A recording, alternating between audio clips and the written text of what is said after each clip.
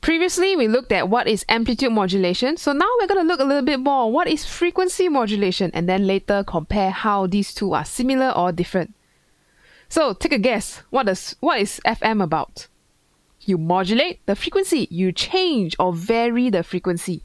So you look at this diagram with the same setup. You have some information over here, such as a voice, a music, uh, audio, whatever you want to send. Uh. And you have a carrier signal, which is fixed. I mean, you choose the frequency. But what are we changing here? Hmm. Can you recognize from this diagram? Look at this on the top part here. When your displacement of your information is very large, okay, so displacement large, then I will say, okay, let us change or modulate the carrier's frequency to be higher. So I say larger frequency of your FM signal.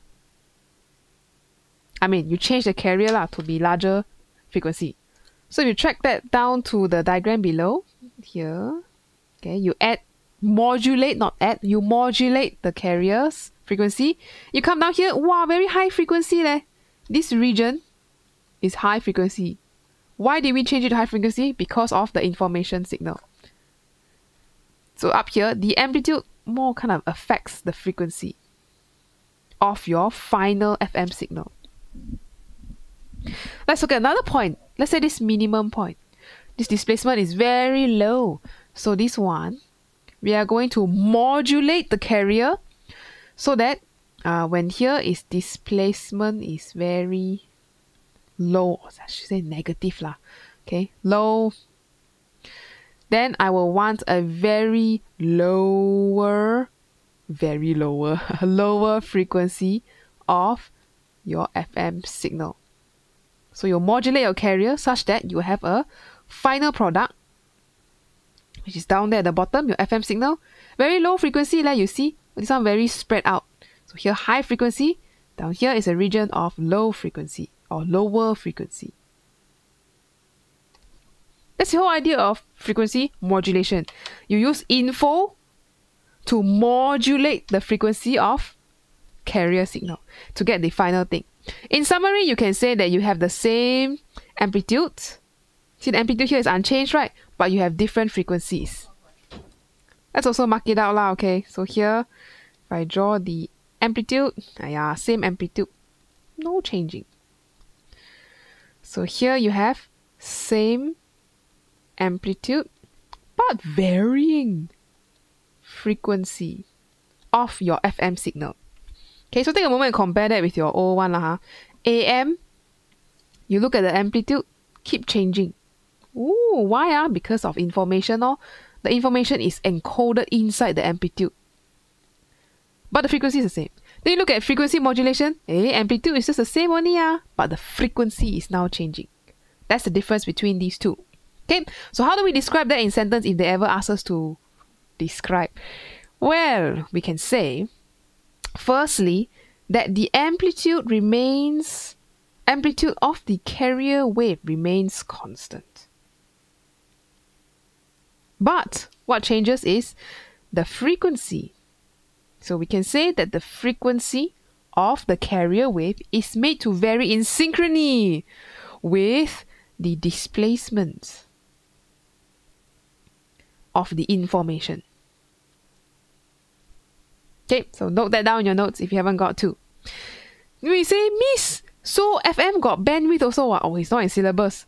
It's a little bit more complicated, so we are not going to talk about it. But now there is also FM bandwidth, a little, more, a little bit more complicated to calculate lah. Okay, so that's the idea of FM in comparison to AM. Now, before we learn more facts about AM and FM, let's go and look at the past year questions straight away to help us uh, see what kind of things we can calculate in for FM wave.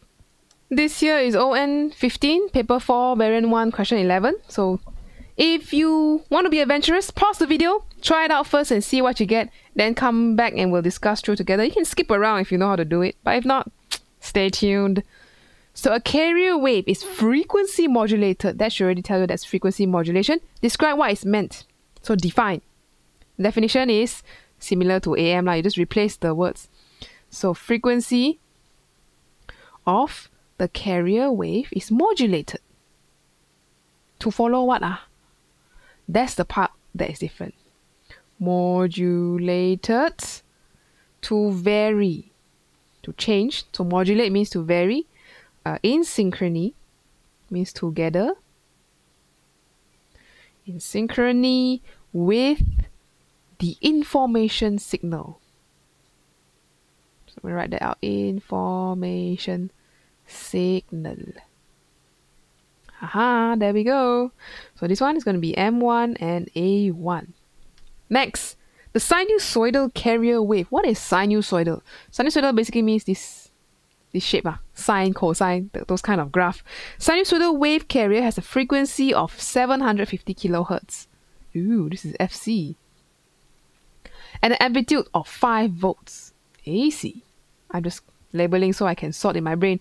The carrier wave is frequency modulated by a sinusoidal signal. So this is your information coming in. This is your signal coming in and an amplitude of 1.5. The frequency deviation of the carrier wave is 20 kilohertz per volt. What is frequency deviation? If we go back to the graph earlier, we mentioned how the displacement affects the frequency of the signal, right? Okay, so this information is going to cause what we say a deviation of frequency. So say frequency deviation. Deviation means different law, you change a bit from original. Okay, so the displacement here causes a deviation in frequency because of its displacement. No? Anyway, back to topic. Uh, determine for the frequency modulated carrier wave the amplitude. So for our carrier wave, what's the amplitude? Didn't they just tell us the, the carrier wave amplitude? Ah yeah, got lah, ne? They told us 5 volts. So just write here 5.0 volt. It's given to us up there. So just copy and paste. If you want to draw it out, sure. Carrier wave. Uh, what is this? 5.0 volt. Ooh, so from the middle. This is 5.0 volt. What's the frequency of our carrier wave? Let's draw this out. Why not 750 kilohertz? Now, what is the minimum frequency of our carrier wave? Mm. So we are adding what again? Ah? Oh, this is our carrier. We have our info wave. What is the info wave? Much lower frequency that's given to us. Uh, the, the info is what's the info idea? Ah, this is 7.5 kilohertz. And the amplitude also different a bit. So this fella's amplitude is a maximum of what was it? Uh, 1.5 volts over here. Now remember what this 1.5 volts does? Okay, I remind you, uh, this displacement is going to affect the frequency of our carrier wave. Okay, so the displacement of your info wave is going to affect the frequency, and that's what they're asking you. Frequency ma, your minimum, maximum frequency. So what is this change? Maximum displacement. Let's call this max displacement. How do we convert volts to frequency? Hmm, oh, I know now. This mysterious thing. The frequency deviation 20 kilohertz per volt. So if this is 1.5 volts, what's going to be my deviation of frequency? I just call this delta F.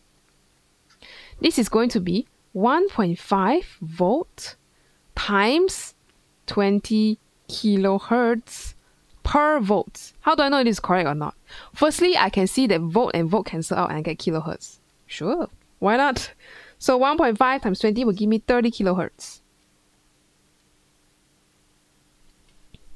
And that tells me that this 1.5, this displacement, is the largest and it will cause my final carrier wave, how to draw, where to draw. Ah, ah I draw here lah. Final FM signal. Okay, it will change the frequency by 30 kilohertz, so zoom, zoom, zoom, zoom, zoom, zoom, zoom, zoom, and then slow again. Okay, so there's a difference in your frequency. So 30 oh. So what's the minimum ah? Okay, let's draw another graph here to remind ourselves. Our carrier is 750. Nah, 750. You could draw it in our frequency band kind of diagram, frequency against amplitude or intensity. So this one is going to be our 750 in kilohertz. Largest are plus 30 minus 30 low. So you can think of this one as plus 30 minus 30. So your largest frequency could be about uh, 780. Smallest, about 720. Okay, so mm, this diagram is just a rough way to help you think about it. Uh, okay, it's not the same as your AM kind of diagram. Okay, so your maximum frequency that you can have is 780. So that's right here, 78. Eh, sorry, minimum. Minimum is 720.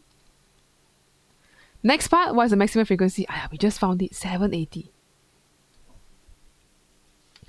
Okay, if you're not sure how to bring this, never mind. Just memorize the idea. When you see this kilohertz per volt of your information signal, that will cause a change in frequency of your carrier wave. And that's what they're asking you. Lor. What's the change in frequency of carrier?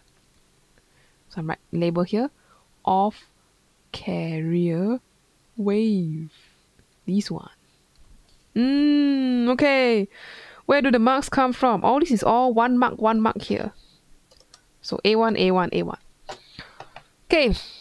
FM is a bit more complicated, right? Your brain will have to twist a bit to brain this thing. But anyway, let's go to the last part. Find for the frequency modulated carrier wave, means you already modulate, the number of times per second that the frequency changes from minimum to maximum value and back to the minimum value. Okay. So go back to the graph in the beginning again. Ah.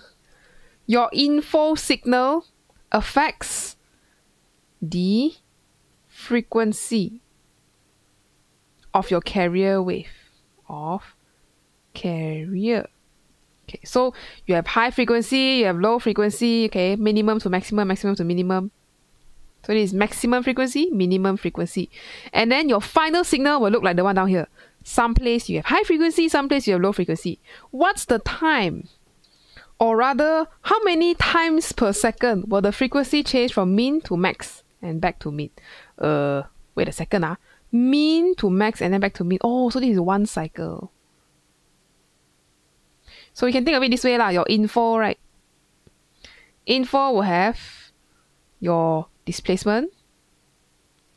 This is our 7, what's 7.5 kilohertz. Okay, and this displacement here will affect basically your frequency of carrier wave.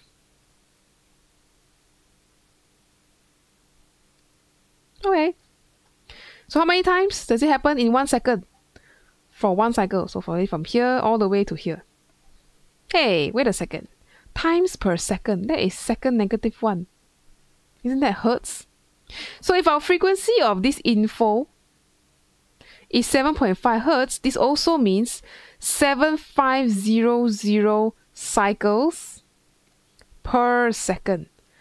That is the definition of hertz ma. Hertz is also known as negative 1. As negative 1, the unit. So that means, this is a trick question. Why do they even ask this thing? Yeah. So in one second, it will travel 700, 7,500 times per second for your carrier wave to go from minimum to high. Okay, like this graph is wrong. Minimum to max and max to min. Let's redraw the graph. Ah, minimum. Ah, that sounds like an upside down cosine graph. So you start off with minimum frequency, maximum back to minimum. Ah, this looks more correct. So you start from here to here. Okay, remember the displacement affects the frequency. Yeah. So this is your info displacement affects frequency. Okay, 7,500 because that is how long, how many times per second for this uh, wave. Okay, this is one mark only. Everything all one mark, one mark. So this one, pause and look at it. Try to brain this a little bit more before we move on. Uh, but this is pretty much all they will ask you in uh, for calculations in AM and FM. So that's all for this video. In the next one, we'll look at the comparison side by side of AM and FM and all the different different pros and cons of having each type of modulation being used. Okay, so that's all for this video. I'll see you in the next one.